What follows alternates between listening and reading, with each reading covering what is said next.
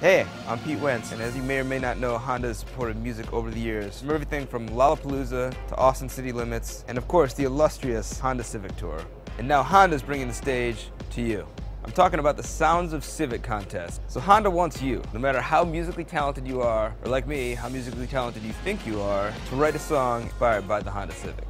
Civic's like a unicorn. It's fantastical and lasts forever. Not only are you the musicians, you're also the judges. Post your audio or video file to facebook.com slash Honda Civic, where anyone can come and vote for their favorite Civic-minded songs. The prizes are gonna be rad, so get right in and good luck.